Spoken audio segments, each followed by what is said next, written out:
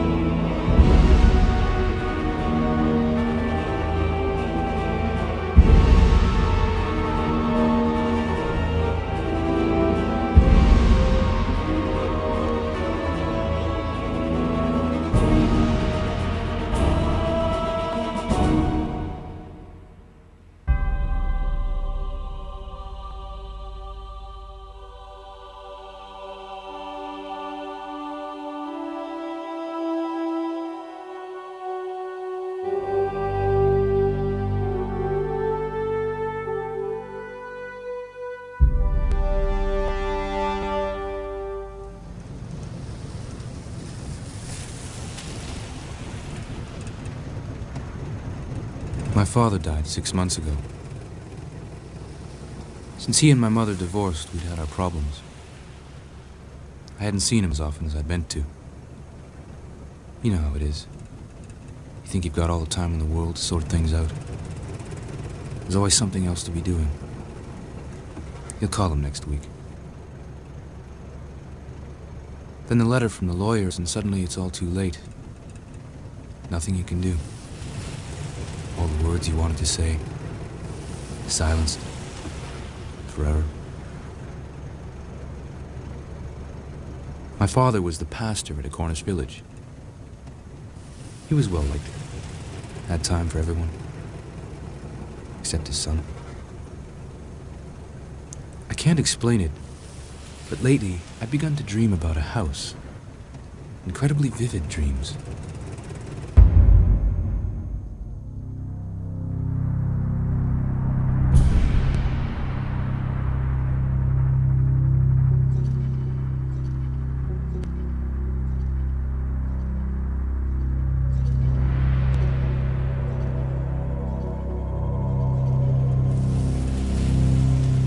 I had other dreams at that time, too. Just as real, but not unpleasant.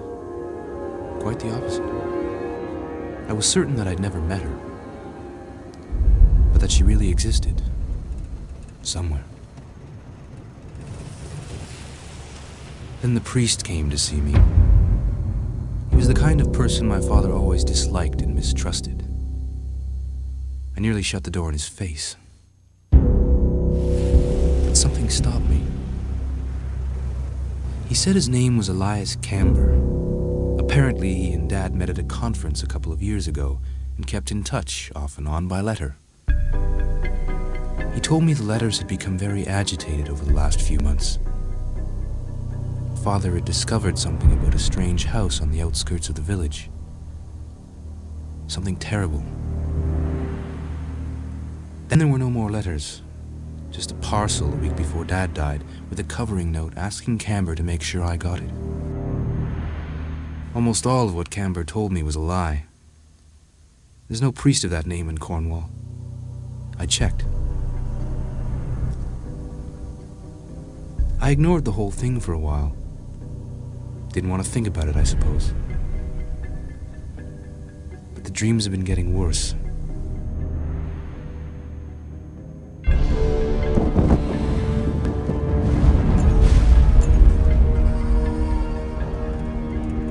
Days ago, I opened the parcel.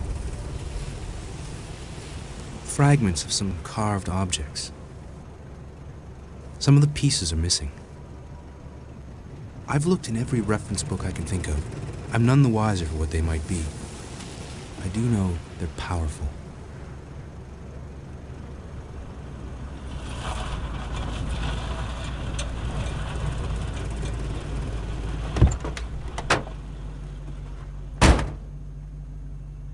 So here I am, at the house Camber spoke of, the house of my nightmares. I feel I've been brought here by something. I don't know what it is, or what it wants.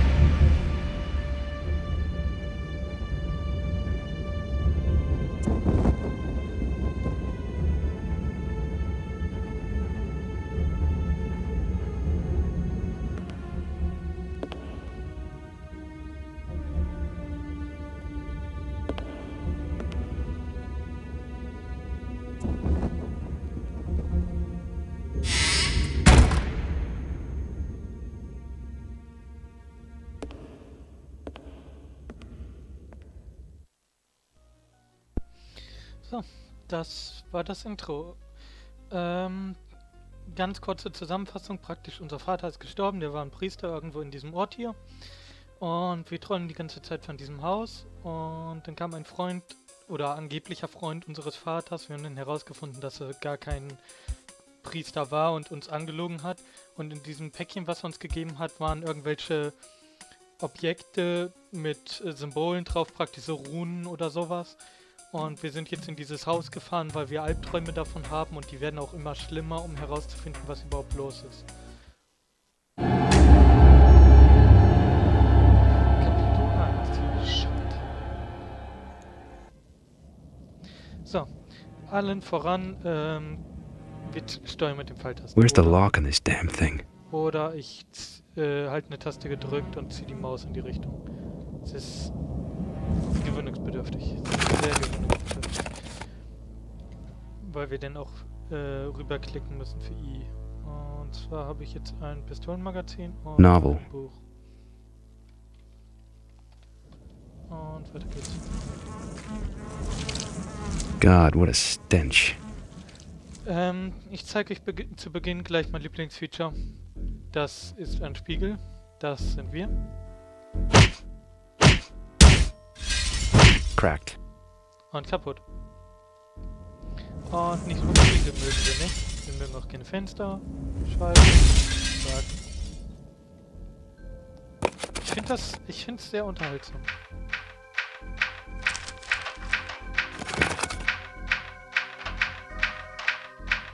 Jetzt haben wir auch eine Pistole.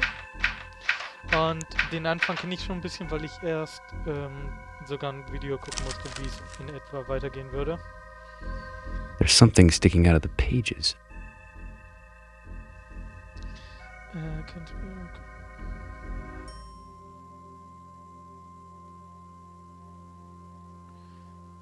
Also praktisch ähm, paranormale Experten wurden gerufen, um eine Kreisformation in, äh, in Cornwall zu untersuchen.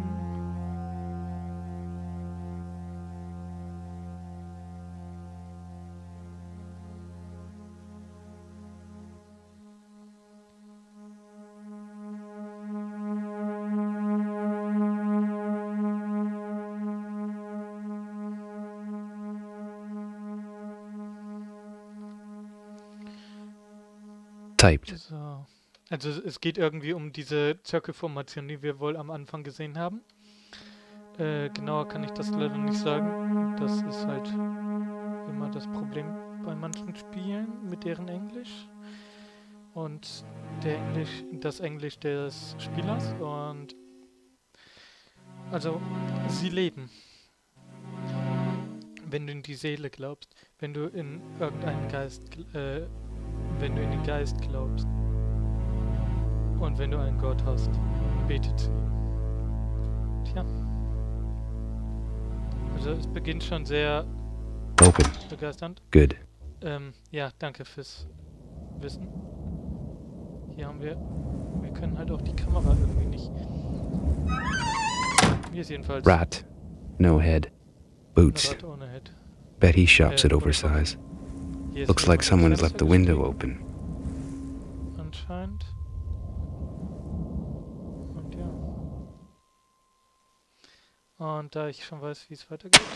Eins und und...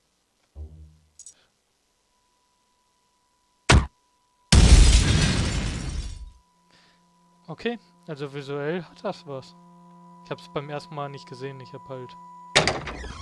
Muss mich erstmal reinfinden. So, und weitere Cutscene.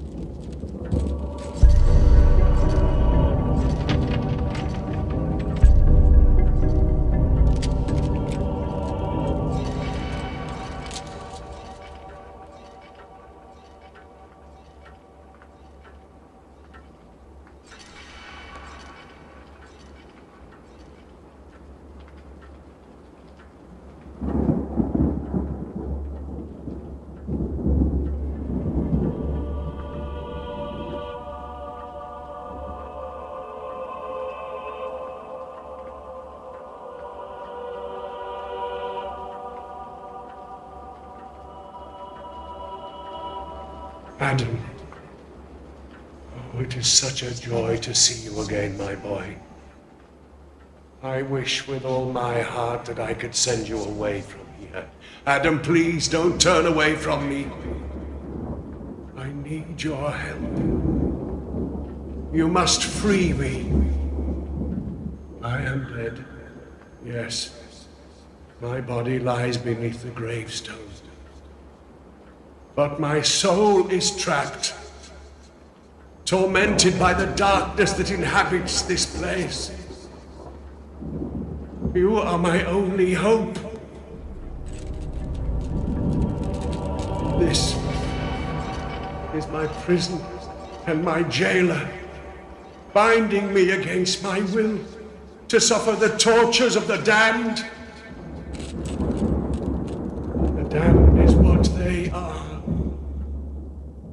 I cannot help you beyond this message.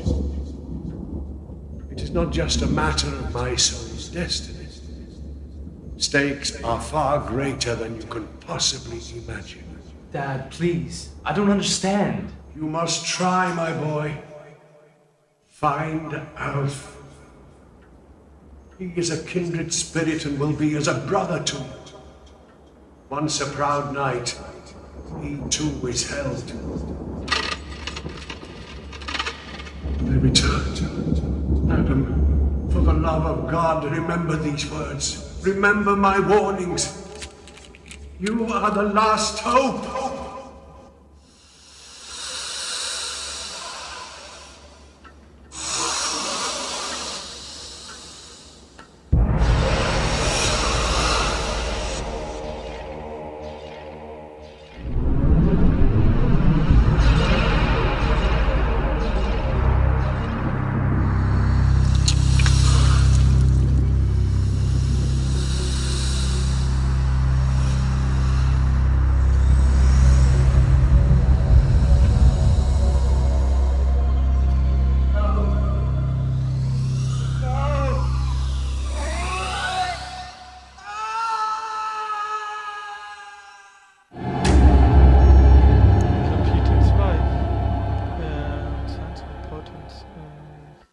Zeichen und vor.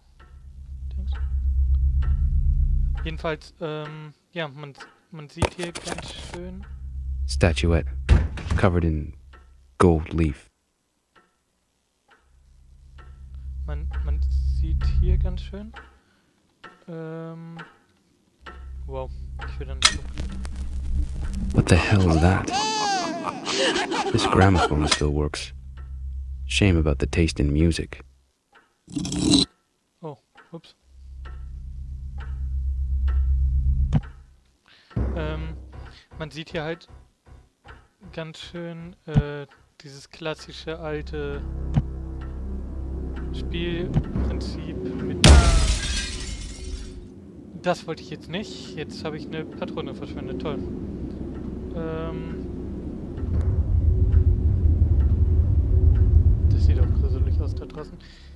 Äh, mit den ganzen ähm, alten Cutscenes, die von irgendwelchen Schauspielern gespielt werden und so. Es hat halt was in sich. Schon.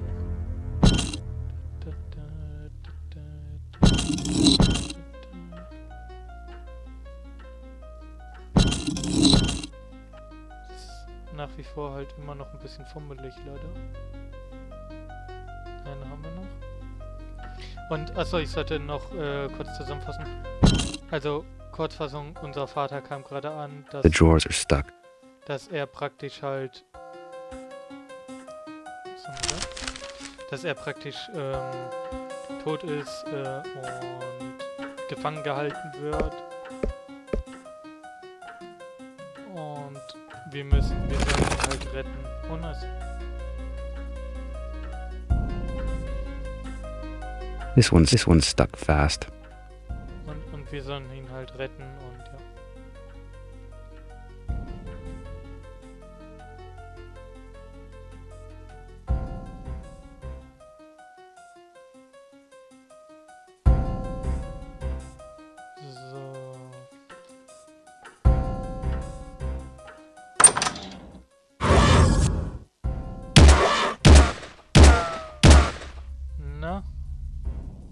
Böse.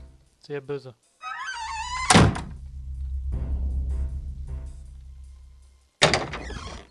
Habe ich jetzt hier alles gesehen? Anscheinend.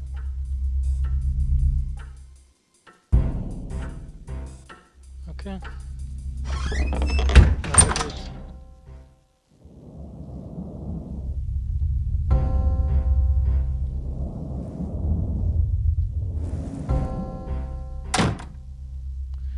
Boah, diese Geräusche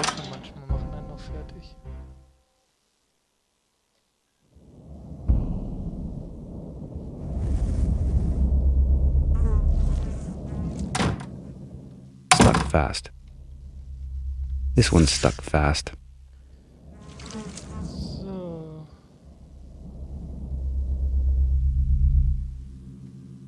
Won't budge stuck fast. Äh, achso, wir haben ja noch die Notiz.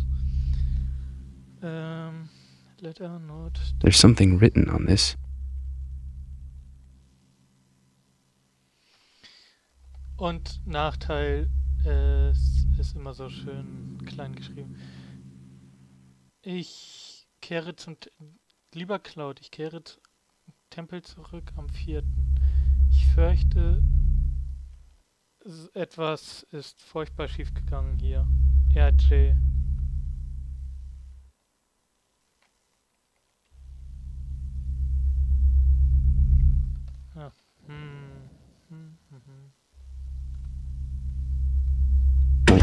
Fast. Die Frage ist jetzt, wo geht es weiter? Stuck fast.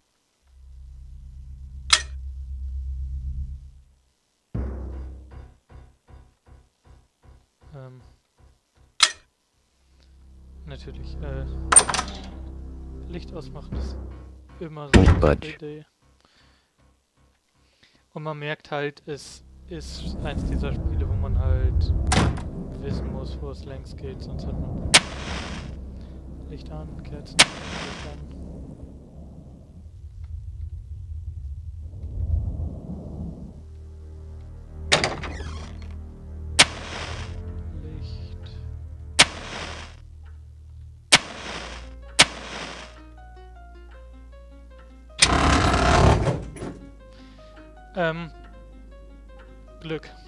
Das war jetzt Oh God.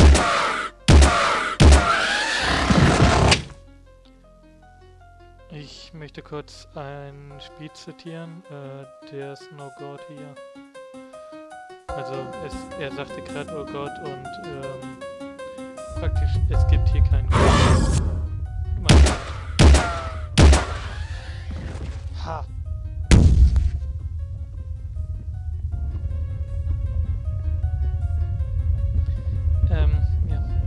So viel zu Ha. Haha.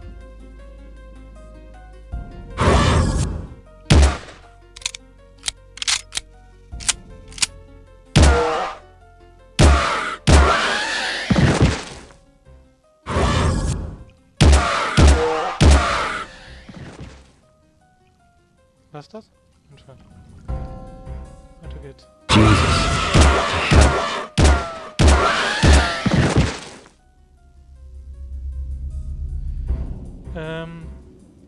Merkt halt auch schön, ich kann halt nur schießen, wenn halt irgendwas da ist, worauf ich schießen kann. Ist auf einer Seite ganz gut. Jesus. What the hell?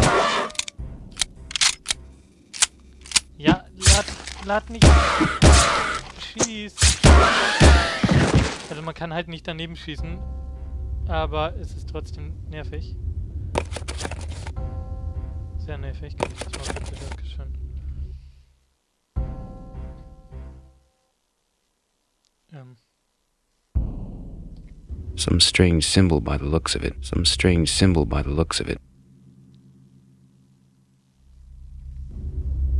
Kann ich jetzt irgendwie. Hm. Hinterfrage ich nicht. Ich habe mal ge äh, ich habe in dem Video gehört, dass das irgendwie so Magiefähigkeiten sein sollen, das hier. Aber anscheinend. There's a small aperture in the middle of this door.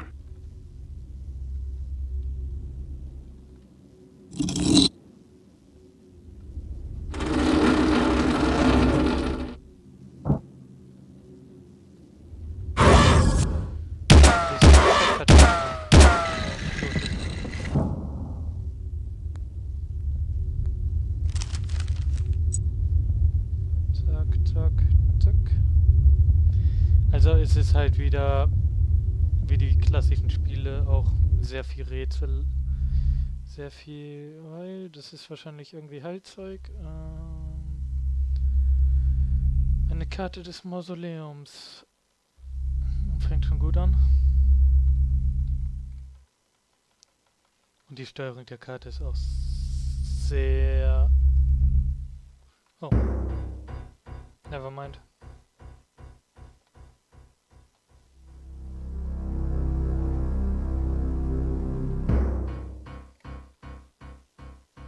Sketch of a door and a strange symbol. Also einer Tür. Schlüssel. Das übliche. Das übliche. Feuer? Feuer? Anyone? Anscheinend nicht. Torch. I wonder who put that there.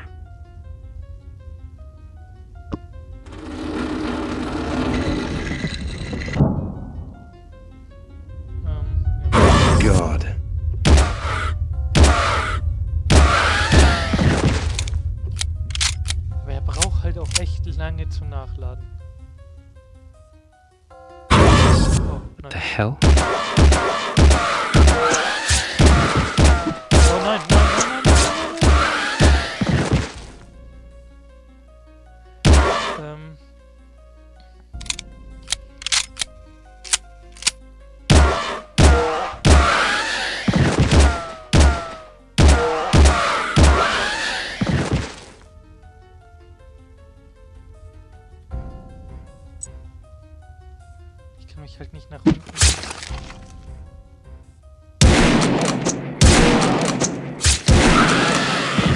Nett. Gar nicht nett. Liegt hier irgendwie. Kann ich die nicht. It's got some sort of liquid in it. Kann ich das trinken? Bitte? Nutzen. Nutze es. Benutzen. Also, man sieht halt, es ist halt.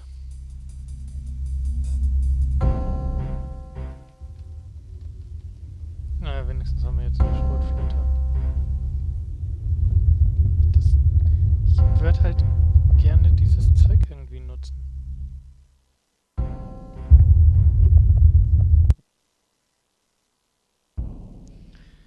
Ähm, ja, man, merkt halt, es ist halt eins der älteren Spiele. Man weiß halt nicht so ganz, was man jetzt machen soll, kann. Und es ist nach wie vor ein bisschen nervig. Oh.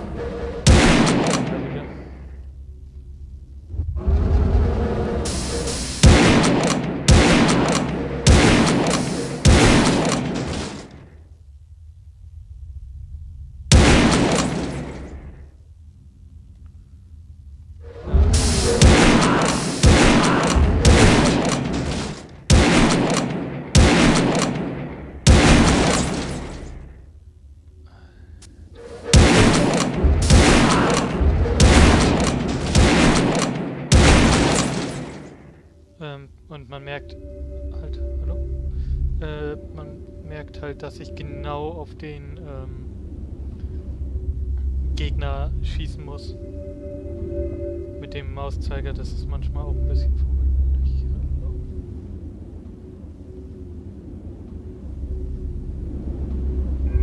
Depiction of a knight. No name.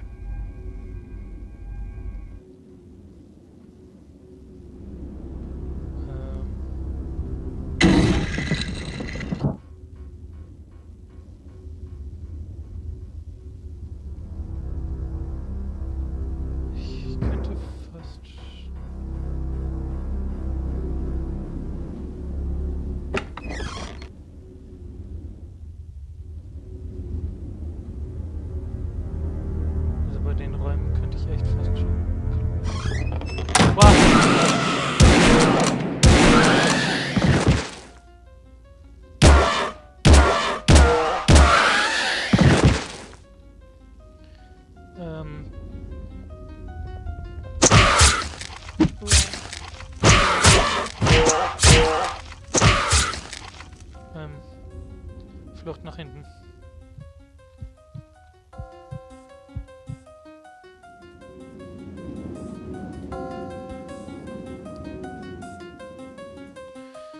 Äh,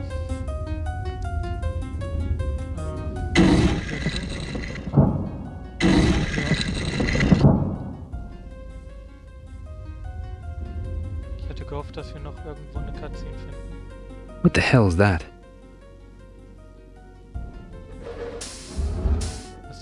Nichts Gutes ist das.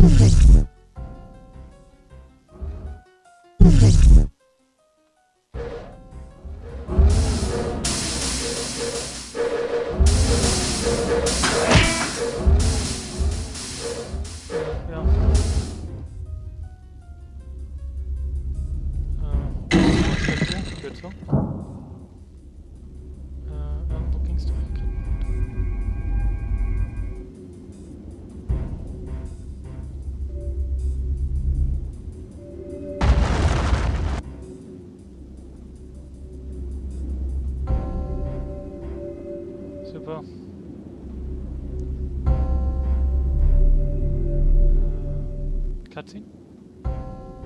Vielleicht? This isn't gonna move in a hurry.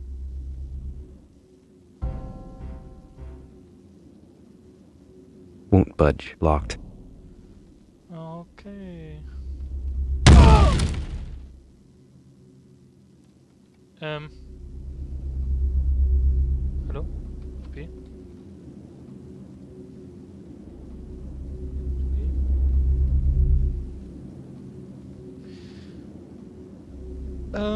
ja. Ich würde jetzt mal rein theoretisch vermuten, dass es eine Fallgrube war und wir da praktisch runterfallen sollen. Beim Runterfallen aber Schaden nehmen. Und das, dadurch, dass wir jetzt praktisch so gut wie kein Leben mehr hatten, denkt das Spiel, wir sind zwar unten angekommen, sagt aber gleich, wir sind äh, tot, weil wir kein Leben mehr haben. Und dementsprechend sieht es aus, als ob sich das Spiel aufgehängt hat. Ich hoffe trotzdem, euch hat der Einblick gefallen. Wir haben halt schon zwei, wir haben das Intro gesehen, wir haben eine Cutscene gesehen. Und ich muss halt sagen, es gefällt mir recht gut. Vor allem wegen diesen ganzen ähm, Arten, wie es gemacht ist mit den Schauspielern und alles.